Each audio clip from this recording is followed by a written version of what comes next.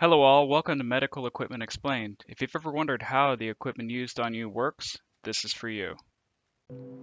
Today's topic of device is the Automatic External Defibrillator, or AED, and we'll be looking at the differences between the AED and a defibrillator. The defibrillator itself has all the functionality and can do everything that an AED can do, plus more which I'll only discuss briefly because our topic today is the automatic external defibrillator, AED.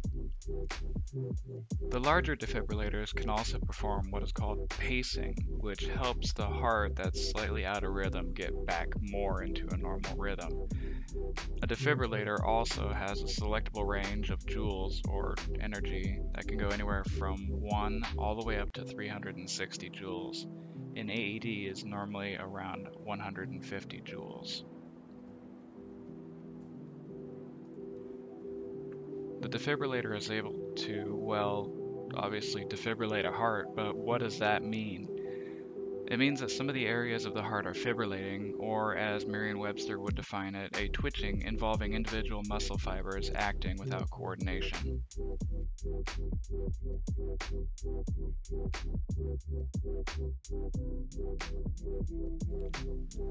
Before we go into how the AED works, first, we'll need to be aware that the movies from Hollywood are not always faithful to reality.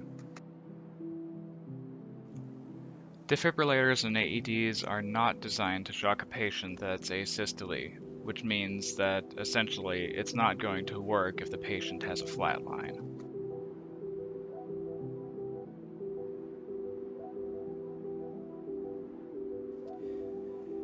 An asystolic patient's only chance of survival is cardiac stimulating drugs in combination with chest compressions.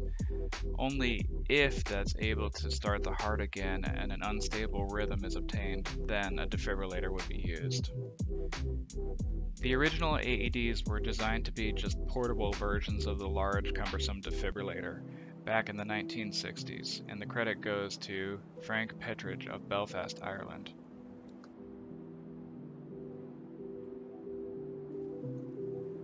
If we can take a look inside the AED, we'll see in the main components here are the display, the large capacitor, the battery, and the logic circuitry. The primary function of an AED comes from charging a large capacitor within the device to deliver the shock to the patient. A capacitor is similar in practice to a battery, except that it can deliver even more of that energy almost instantaneously, whereas a battery delivers that energy over a longer period of time. AEDs are located in many public spaces of hospitals, offices, shopping centers, and anywhere that there would be a large gathering of people. All AEDs require the use of pads to make a good solid connection between the device and the patient. The pads have a conductive adhesive gel on one side to make contact with the skin easier. And the reason that the pads are so large is if they were smaller, there would be more connectivity around a smaller area, which could cause a higher chance of burns on the skin. Over time, as with other electronics, they're getting less expensive to produce, smaller, and becoming more and more available. With that being said, this seemingly ordinary small device can pack a life-saving punch.